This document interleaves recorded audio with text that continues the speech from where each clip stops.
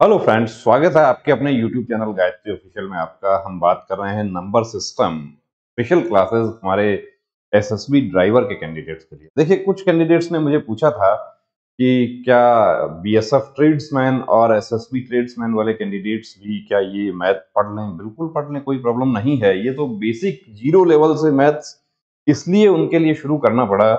Driver candidates के लिए कि उनको काफ़ी प्रॉब्लम आ रहा था कि वो डायरेक्ट जहाँ भी क्लास में वो जा रहे हैं, कि वहाँ ज़ीरो से नहीं पढ़ाया जा रहा। इसलिए उनके लिए बिल्कुल ज़ीरो लेवल तो देखिए, हम दो क्लासेस हम कर चुके हैं, यहाँ तीसरी क्लास में हम उसी को आगे बढ़ाएँगे नंबर सिस्टम पढ़ रहे हैं। तो इसको हम आगे बढ़ाते हैं कि भाज्य संख्याएँ कौन सी हैं? और भाज्य संख्याएँ।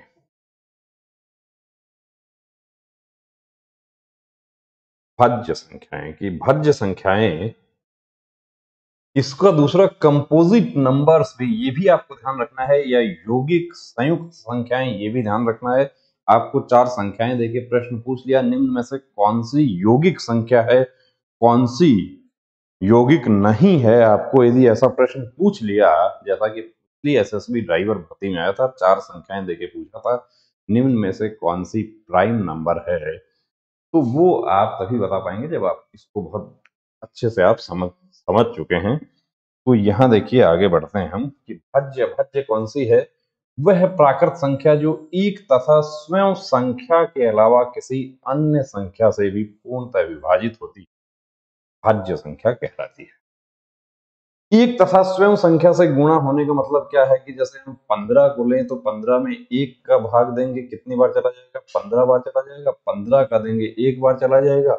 अब इसके अलावा ये किससे हो रही है? तीन का इसमें भाग जा रहा है या नहीं जा रहा है? जा रहा है तीन, पाँच, पंद्रह।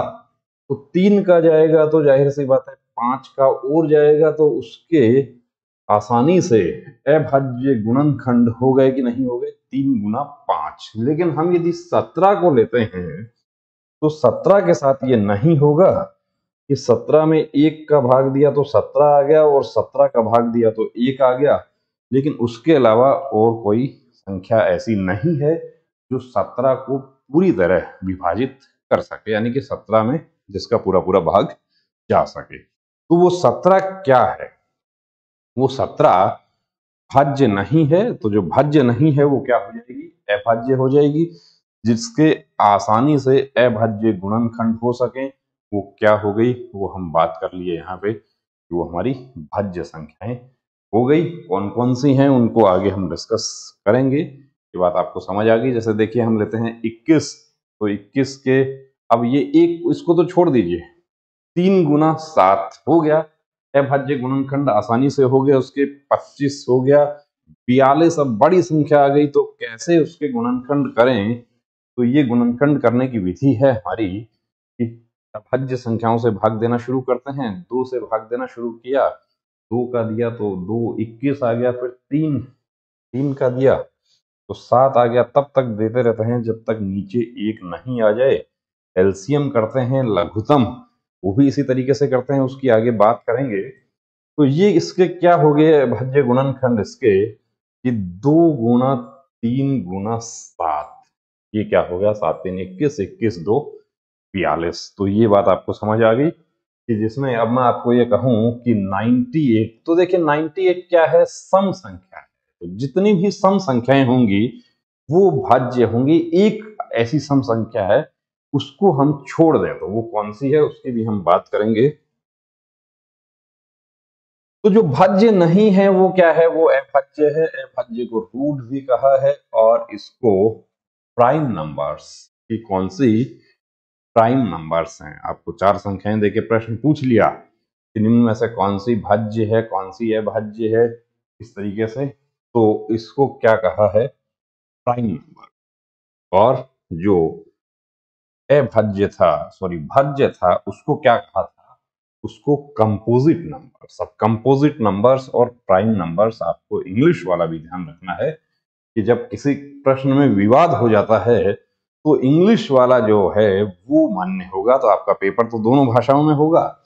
अब यहाँ पर प्राइम नंबर्स वे प्राकृत संख्याएँ जो एक तथा स्वयं संख्या के अलावा किसी अन्य संख्या से पूर्णतः विभाजित नहीं होती।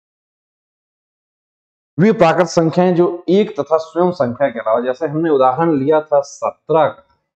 सत्रह का उदाहरण लिया था, एक का भाग देंगे, सत्रह आ गया, सत्रह का भाग देंगे, एक आ गया। लेकिन उसके अलावा तो और नहीं है तो ऐसी संख्याएँ जो एक तथा स्वयं एक से तो सभी विभाजित होती हैं और खुद से भी सभी विभाजित होती हैं। तो जो एक तथा स्वयं संख्या के अलावा किसी अन्य संख्या से पूर्णतः विभाजित नहीं होती, वो क्या है? वो प्राइम नंबर्स हैं। यानी अभाज्य संख्याएँ हैं, यानी जिनके अभाज्य गुणनखंड नहीं किए जा सकते। जैसे सत्रह को क्या लिखेंगे आप? अब सत्रह गुना एक ही लिख सकते हैं और उसका और कोई लिखने का तरीका नहीं है। बिल्कुल देखिए, बिल्कुल ज़ीरो लेवल से, बिल्कुल बेसिक लेवल से आपको समझाने की कोशिश कर रहे हैं और बिल्कुल आपको समझ आ जाएगा। अब ये 97 तक आपको देखिए, इसमें कुछ क्वेश्चंस बनेंगे। जिनको आप कोई मैथ की बुक लेते हैं तो उसमें नोट के रूप में लिखा रहता है। नोट के रूप में पहला तो क्या लिखा रहता है कि एक न तो भाज्य है और न ही अभाज्य। एक को तो हमने छोड़ दिया। एक न तो भाज्य है, न अभाज्य है। तो हम कहा से शुरू करें? हम दो से शुरू करें। अब देखिए, ये जो दो जो है, ये क्या है? दो सबसे छोटी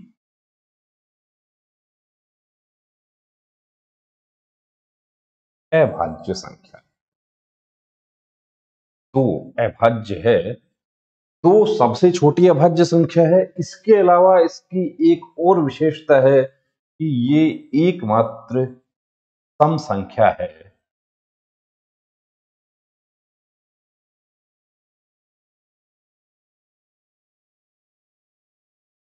जो अभाज्य है, यानी सम होगी तो सम की क्या है परिभाषा? सम को हम आगे लिखेंगे वैसे, मुझे पहले बताना चाहिए था सम संख्या। अब बता देता हूँ, आगे वैसे लिखा है कि सम कौन सी है जिसमें दो का पूरा पूरा भाग जाता है। तो दो जो है, वो एक और दो के अलावा और किसी से पूर्णतः विभाजित नहीं होती, इसलिए दो क्या है? अभाज्य है। तो क्या हो गया? नोट जो आपको लिखने हैं, कि नोट आपको याद रखने वाली बातें भाज्य अभाज्य में प्रश्न कैसा जाता है? सबसे छोटी अभाज्य संख्या क्या है? दो एक, दो, तीन, पाँच, बहुत सारे हमारे साथी इसमें क्या करते हैं? उत्तर लिख देते हैं। एक जो कि गलत हो जाता है या तीन लिख देते हैं। तो सबसे छोटी अभाज्य क्या हो गई? सबसे छोटी अभाज्य, अब दो जो है और दूसरा इसकी बारे इसकी विशेषता क्या हो गई? कि यह एकमात्र सम संख्या है। आपको पूछे कि कितनी ऐसी सम संख्याएँ हैं जो अभाज्य हैं? तो गिनती में तो वो एक ही है। कौन सी? दो। इन काउंट तो एक ही है।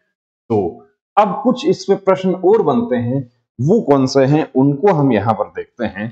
कुछ यहाँ प्रश्न बनते हैं कि जो मैंने लिखा है, दो, तीन, पाँच, सात, नौ, देखिए, एक तो प्रश्न बनता है, प्रथम पाँच अभाज्य संख्याएँ। प्रथम पाँच अभाज्य संख्याओं का योग करो, उनका औसत करो, ये बहुत ज़्यादा प्रश्न आता है। लैंग्वेज बेस्ड जो क्वेश्चन होते हैं, उसमें, यानी भाषा पर आधारित जो प्रश्न है उसमें प्रथम पाँच अभाज्य संख्याएँ तो यहाँ प्रथम पाँच अभाज्य संख्याओं की हम बात करेंगे। प्रथम पाँच अभाज्य कौन सी हो गई? ये यहाँ तक हो गई। प्रथम पाँच अभाज्य संख्याओं का योग करते हैं। हो गया ग्यारह और सात, अठारह अठारह और ये हो गया पाँच, अठारह, पाँच, तेईस और तीन, तेईस। और तीन, छब्बीस और दो, सत्ताईस, अट्ठाईस। प्रथम पाँच अभाज्य संख्याएँ, प्रथम पाँच अभाज्य संख्याएँ कौन सी हैं? तो ये आपको पता होना चाहिए, प्रथम पाँच अभाज्य संख्याएँ कौन सी हैं? इसके आगे आपको क्या प्रश्न आता है? इसके आगे आपको एक प्रश्न आता है कि 25 तक एक से पच्चीस तक। तो पच्चीस तक कितनी अभाज्य संख्याएँ हैं? पच्चीस तक कितनी अभाज्य संख्याएँ हैं? तो पच्चीस तक कितनी हो गई? पच्चीस तक हो गई, पाँच और चार नौ हो गई। पच्चीस तक पच्चीस तक की, यहाँ देखिए, पच्चीस तक की, कि एक बार ऐसा ही एक क्वेश्चन जो है एसएससी के एग्ज़ाम में आया था कि सत्रह से छोटी अभाज्य संख्याओं का योग कितना होगा? तो सत्रह से छोटी अभाज्य संख्याओं का योग वहाँ पर क्या होगा कि ये जो सत्रह है, ये उसमें ऐड नहीं होगा, यानी तेरह तक का। तो पहली पाँच का तो आपको याद है, प्रथम पाँच अभाज्य संख्याओं का योग कितना हो गया? हमें याद कर लेना है वो कि वो 28 है। 28 में तेरह और जोड़ दिया तो वो इकतालीस हो गया। इस सत्रह को भी कुछ लोगों ने उसमें क्या किया? कि सत्रह सत्रह से छोटी, यदि आपको पूछता सत्रह तक की अभाज्य संख्याओं का योग, तब क्या करेंगे? सत्रह को उसमें जोड़ देंगे। तो ये सो तक टोटल कितना होता है? सो तक होते हैं पच्चीस।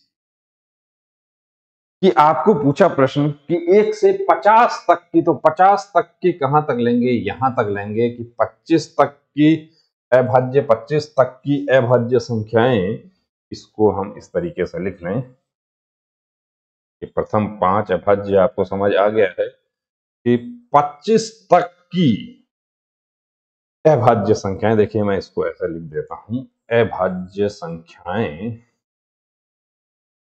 अब आपको कहता है कि एक से 25 तक तो एक से 25 तक कितनी अभाज्य संख्याएँ हो गई एक से 25 तक हमने याद किया हुआ है कि नो है। कौन सी? कहाँ तक हुई? तेईस तक हो गई। अब एक से पचास तक यदि ऐसा ही पूछे कि एक से पचास तक तो एक से पचास तक नो ये हो गई दस ग्यारह, बारह तेरह चौदह और ये हो गई पंद्रह। ऐसे ही आपको पूछ सकता है एक से पचहत्तर तक तो एक से पचहत्तर तक क्या होगा? ये तिहत्तर तक हो जाएँगी पंद्रह उसमें कितना और बढ़ गया, छह और बढ़ गया तो वो कितनी हो गई? इक्कीस हो गई। और एक से सौ तक कह दिया आपको, पूछ लेता है तो एक से सौ तक।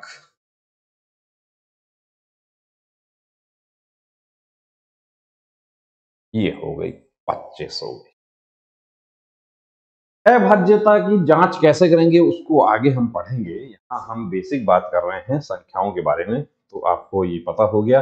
कि प्राइम नंबर्स कौन से हैं, अभाज्य संख्याएँ कौन सी हैं, एक जो है वो ना तो भाज्य है, ना अभाज्य है, उसको हम काउंट नहीं करते।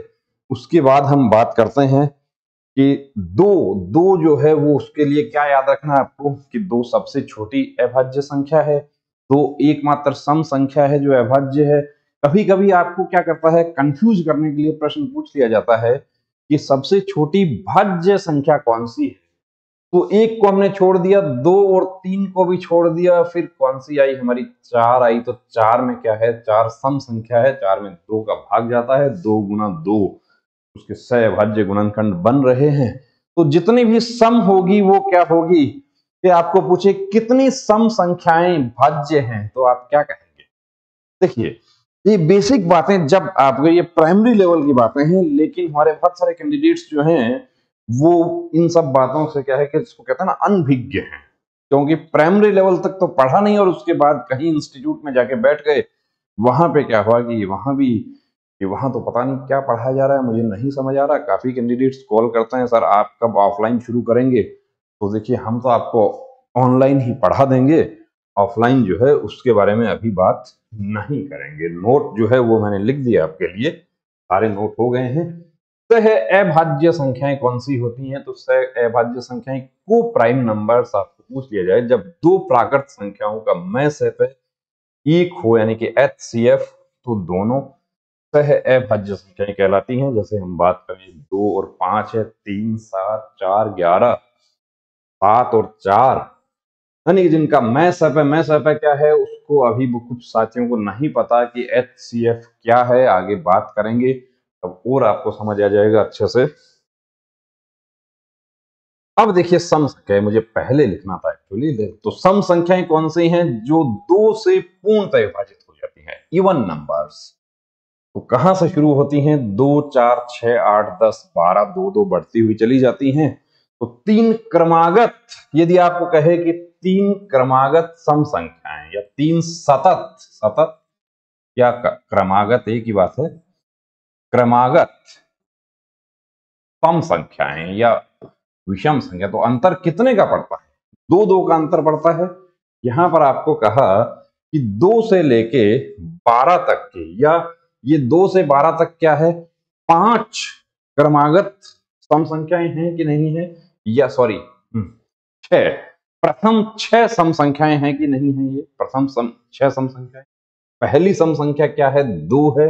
अब तीन क्रमागत यदि गणित में हम क्या करते हैं एक्स मानते हैं, अब जो आजकल जो पढ़ाते हैं, जो एडवांस वो ये कहते हैं कि एक्स नहीं मानना चाहिए, लेकिन मैं तो यही कहूँगा आपको कि एक्स मान के करो, आराम से करो, कोई जल्दी नहीं अपने को। तो पहली संख्या यदि एक्स हो गई तो दूसरी क्या हो गई? एक्स में कितना बढ़ गया? दो बढ़ गया। और उससे अगली क्या हो गई? एक्स इस, या तो इस एक्स प्लस दो में दो बढ़ा दो, या इस एक्स में डायरेक्ट चार बढ़ा दो।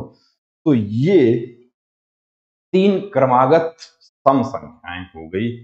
इस तरीके से हम इसको लिख सकते हैं। लैंग्वेज बेस्ड जो क्वेश्चंस आते हैं आपको भाषा पर आधारित, उसको आगे हम डिस्कस करेंगे। तो इनको हम क्या लिख सकते हैं? इनको आप ये लिख सकते हो कि नहीं कि प्रथम छ या ऐसे लिख दू सम संख्याएँ। बारह तक, और यदि चौदह तक हो जाएगी अब सो तक कितनी सम संख्याएँ हैं? सो तक आधी सम है, यानी कि पचास सम है तो पचास जो बच गई वो क्या है? वो विषम है। सो तक अभाज्य कितनी है? तो अभाज्य हमने पीछे लिखा कि सो तक अभाज्य 25 है। तो ये बात आपको याद रहनी चाहिए कि आपको बेहतर समझना है। सम के बाद में उसका ही दूसरा दोस्त है, उसका भाई विषम है। ओड नंबर्स तो वे संख्याएँ जो दो से पूर्णतः विभाजित न हो, जैसे कि अब यहाँ पर एक आ गया है। एक, तीन, पाँच, सात, नौ, ग्यारह, तेरह, पंद्रह। अभाज्य भी क्या होता है, इन्हीं में होती हैं। लेकिन वहाँ पर क्या होता है, जैसे देखिए, नो जो है, वो उसमें क्या है, तीन गुना तीन बन गया। तो नो क्या है कि अभाज्य नहीं है। तो भाज्य अभाज्य सम सम कौन सी है, जिसमें दो का पूरा पूरा भाग जाता है? विषम कौन सी है, जिसमें दो का पूरा पूरा भाग नहीं जाता है। कभी ये नहीं कहना कि जिसमें दो का भाग नहीं जाता। दो का भाग तो जाता है। मैं, मैंने कहा कि ये पाँच में दो का भाग जाएगा, बिल्कुल जाएगा, मैं भाग दे देता हूँ। दो में पाँच का भाग दूँगा तो दो दो, चार, और एक शेष बच गया। मैं इस तरीके से इसको लिख सकता हूँ कि दो पूर्ण, एक बटा दो। लेकिन दो का पूरा पूरा भाग नहीं जाता देखिए, भाषा जो है, उसका ध्यान रखना है। ये पहला पाठ आपको अच्छे से समझ आ गया। तो ये समझिए कि पूरा ही मैथ आ गया। कि आगे जो है इसी पर आधारित आपको मिलेगा पूरा। आगे बढ़ते हैं, आप देखिए, सम संख्याओं का योग हमेशा सम ही होता है। सम संख्याओं का योग हमेशा सम ही होता है। आप तीन सम करें, चार सम करें, पाँच सम करें, कि यहाँ पर मैंने क्या किया? दो, चार छ क्या हुआ योग? बारह हुआ। बारह, चौदह, सोलह क्रमागत सम है। या क्रमागत नहीं हो, आप करके देख लीजिए कि 20 क्या है? 20 सम संख्या है 30 सम संख्या है और 40 सम संख्या है। इनका योग क्या हुआ? कितना योग हुआ। नब्बे हुआ। तो वो नब्बे भी क्या है? सम ही है। कोई ज़रूरी नहीं है कि क्रमागत की हम बात करें। यानी कि सम संख्याओं का योग हमेशा सम संख्या ही होता है, लेकिन विषम संख्या की बात करें तो दो विषम संख्याओं का योग भी सम संख्या होता है। जैसे देखिए, एक और तीन को मैंने किया, चार आ गया जो सम है, इसी तरीके से मैं तेरह प्लस इक्कीस यदि करता हूँ तो वो भी क्या हुआ? चार और तीन। चौतीस। दो का भाग जा रहा है पूरा पूरा यानी इकाई अंक से ही पता चल गया तो वो क्या है? सम संख्या। तो ये बात आपको बेहतर समझ आ गई। लेकिन कभी आपको बरगलाने के लिए ये कह दिया जाए कि तीन विषम संख्याओं का योग तो तीन विषम संख्याओं का योग कभी सम नहीं हो सकता है। ये याद रखना है कि एक, तीन, पाँच पाँच और तीन, आठ और एक कितना हो गया? नो हो गया। कभी नहीं होगा। कि तीन विषम संख्याओं का योग, या कभी कभी आपको ऐसे प्रश्न दे दिए जाएँ कि निम्न में से कौन सा कथन सत्य है? कि सबसे छोटी अभाज्य संख्या दो है, बिल्कुल सत्य है। दो विषम संख्याओं का योग सम होगा, वो भी सत्य है। तीन सम संख्याओं का योग सम होगा, वो भी सत्य है। लेकिन आपको यह कह दे कि तीन विषम संख्याओं का योग सम होगा, वो क्या है? वो गलत है। तो भाषा पर आधारित लैंग्वेज पर आधारित ऐसे प्रश्न आपको आ सकते हैं। जैसे देखिए, ये एक क्वेश्चन आपके लिए बनाया कि तीन क्रमागत सम संख्याओं का योग 36 है। तो सबसे छोटी संख्या क्या है? अब इसको आप क्या कर सकते हैं? विकल्प से बहुत आसानी से कर सकते हैं। यहाँ योग 36 है, यानी कि पहली संख्या क्या है? X है। तो दूसरी क्या हो गई? सतत क्रमागत या सतत कंटिन्यू x प्लस दो और अगली क्या हो गई? X प्लस चार। इन सब का योग क्या होता है? छत्तीस होता है, देखिए, ये बेसिक बातें हैं। अब कुछ हमारे साथियों को क्या होता है कि बड़ी कॉफ्त होती है कि बहुत धीमी गति के समाचार की तरह पढ़ रहे हैं तो पढ़ना पड़ेगा। धीमी गति के समाचार की तरह नहीं पढ़ेंगे फास्ट ट्रैक पढ़ेंगे तो फास्ट ट्रैक हमारे उन साथियों को नहीं समझ आएगा कि जो वाकई पक्के ड्राइवर है। क्या पढ़ाई छोड़े हुए दस साल हो गए, अभी तो साइड ड्राइवर ग्रीस और आरटीओ ये सब जो है, इनके ही कपड़े में उलझे रहते हैं। लेकिन अब क्या हुआ कि फॉर्म फिल कर दिया तो पढ़ना तो पड़ेगा। तो जैसे मौका मिलता है वैसे पढ़ें, कोई बात नहीं। अब यहाँ पर क्या हो गया, देखिए पक्षांतरण मैंने आपको बताया था सबसे पहली क्लास में ही कि पक्षांतरण क्या होता है कि x को सारे एक तरफ़ ले लो, संख्याओं को दूसरी तरफ़ ले जाओ तो ये एक, दो, तीन कितने x हो गए? तीन x हो गए प्लस दो और चार कितना हो गया? छ हो गया। बराबर क्या है? छत्तीस है।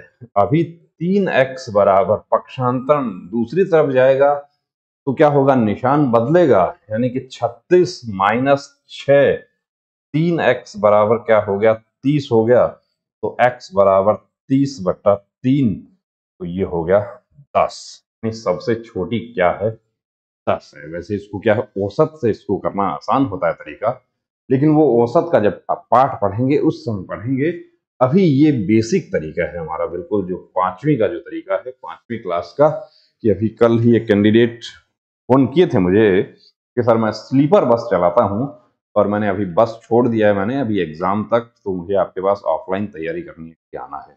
तो मैंने उनको कि ऑफलाइन जो है, वो तो असमर्थता हमने ज़ाहिर कर दी हमारी, कि हम आपको ऑनलाइन ही पढ़ा देंगे, आप ऑफलाइन जो है, आप कहीं दूसरी जगह ट्राई कर सकते हैं, अभी ऑफलाइन की हमारे पास व्यवस्था नहीं है। अब देखिए, यहाँ पर एक बात जहाँ आपको कंफ्यूजन होता है कि आपको पूछा 20 तक की विषम संख्या 20 तक की विषम संख्याएँ कौन कौन सी हैं? तो यहाँ हम एक, तीन, पाँच, सात, नौ, ग्यारह, तेरह, पंद्रह, सत्रह और उन्नीस, यानी 20 तक, दस कम है, दस विषम है। तो यहाँ पर इनको काउंट कर लो, कितनी हो गई? पाँच। और पाँच हो गई दस। बीस तक की विषम संख्याएँ क्योंकि जब औसत का जब चैप्टर पढ़ेंगे, उस समय इसकी ज़रूरत पड़ेगी। कि प्रथम बीस विषम संख्याएँ। लेकिन अब ये जो है, ये बीस तक की विषम संख्याएँ जो है, ये क्या हुई? इनको हम दूसरी भाषा में क्या लिख सकते हैं कि ये प्रथम दस, चलो ऐसे दस लिख देता हूँ। प्रथम दस विषम संख्याएँ हैं। मुझे पता है कुछ हमारे दोस्त ऐसे हैं जिनको बिल्कुल ऊपर से भी निकल जाता है, लेकिन आप इसमें भी देखिए ऊपर से निकल जाएगा तो आपको रोकना प्रथम दस विषम ऐसे ही मैंने यहाँ पे कहा कि प्रथम बीस विषम संख्याएँ तो वो प्रथम बीस विषम संख्याएँ, बीस दो चालीस यानी एक से चालीस तक की जो संख्याएँ हैं तो चालीस तो क्या है? सम है। चालीस से पहले वाली कौन सी हो गई? तो परवर्ती संख्याएँ और अनुवर्ती, उनकी भी हम बात करेंगे बाद में। यानी एक से उनचालीस, ये जो एक, तीन, पाँच, सात, नौ, ग्यारह, तेरह, उन्नीस, फिर उसके बाद आगे बढ़ाते हुए चले जाएँगे उसको, क्या इक्कीस, फिर दो दो जोड़ते हुए तेईस, फिर पच्चीस यानी उसमें क्या होगा कि प्रथम 20 विषम संख्याएँ और 20 तक की विषम संख्याएँ। तो ये बात आपको समझ आ गई कि 20 तक की या 10 तक की विषम संख्याएँ तो 10 तक की विषम संख्याएँ में कौन सी होंगी? 10 तक की विषम संख्याओं में ये पाँच विषम संख्याएँ होंगी। लेकिन आपको ये कहते कि प्रथम 10 विषम संख्याएँ तो प्रथम 10 विषम संख्याएँ कहाँ तक हो गई?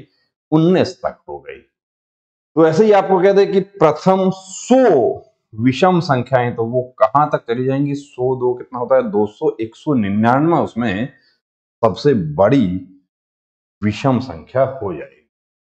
चार क्रमागत सम संख्याओं का औसत अब मैंने देखिए थोड़ा सा बढ़ा दिया। औसत मुझे नहीं लिखना चाहिए था यहाँ पे। मैं औसत की जगह चार क्रमागत सम संख्याओं का योग लिख देता हूँ। मैं औसत की जगह ये औसत लिख दिया। मैं इसकी जगह योग लिख देता हूँ। कि योग 108 है। तो सबसे बड़ी संख्या क्या है? विकल्प दे, देगा आपको। आपको तो उत्तर तो दिए जाएँगे।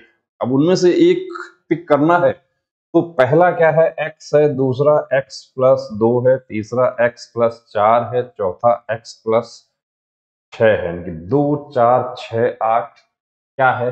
सम विषम जैसा भी कहे इनका सबका योग करना है हमें। औसत अभी जिनको औसत आता है वो समझ जाएँगे कि सत्ताईस सत्ताईस चार क्या हो गया? 108 हो गया। चलिए हम औसत छोड़ देते हैं। तो योग ही कि 108 अब 108 हमारे ड्राइवर वाले जो कैंडिडेट्स हैं, वो काफ़ी लोग 108 से वाकिफ हैं। कैसे हैं 108 से वाकिफ? कि ड्राइवरी में क्या है 108 आठ? तो है। आठ तो जब आपका ड्राइविंग टेस्ट होता है, वहाँ पर एट टेस्ट होता है। तो आठ भी है। तो ये एक, दो तीन एक्स कितने हो गए? चार एक्स हो गए। प्लस कितना? दो और चार छ और छ हो गया बारह। अब योग कितना होता है? 108 होता है।